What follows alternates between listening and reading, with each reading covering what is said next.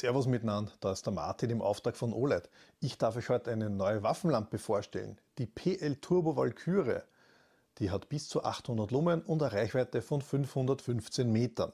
Betrieben wird sie mit zwei Stück CR123A Batterien, die werden da hinten eingelegt. Äh, man kann aber auch die RCR 123A, die wiederaufladbare Variante, verwenden. Die Montage ist schon bekannt, das dreifach längsverstellbare Schienensystem und mit der Schraube, damit das Ganze auch fest an der Waffe hält. Verfügbar ist ein äh, Picatinny-Adapter und einer für die Glock-Variante. Bedient wird die Lampe entweder von links oder von rechts mit den Schaltern, die da an der Heckklappe montiert sind. Der Blick vorne in den Reflektor zeigt uns eine neue LED mit einem kleinen runden Teil, also die Fläche, die das Licht aussendet und das Ganze führt zu einem sehr tollen Lichtbild.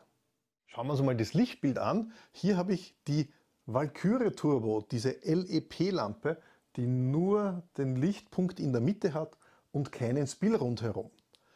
Die PL Turbo aber kann beides. Die hat den konzentrierten Lichtstrahl in der Mitte und trotzdem den Lichtkegel rundherum, der wirklich alles gleichmäßig beleuchten kann. Ich habe das Ganze auch im Tunnel ausprobiert, das zeige ich euch jetzt schnell. Nochmal, LEP-Technologie Valkyrie Turbo, PL Turbo LED-Technologie. Über 500 Meter 800 Lumen, über 500 Meter bei nur 250 Lumen.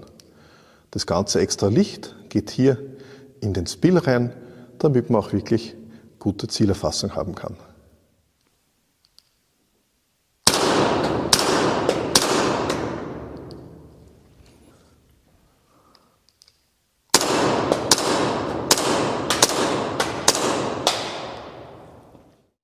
Die PL Turbo gibt es jetzt im Ofende Sale bereits unter 76 Euro. Und wenn man ein paar Euro drauflegt, kann man ganz günstig noch ein tolles Bundle draus schnüren.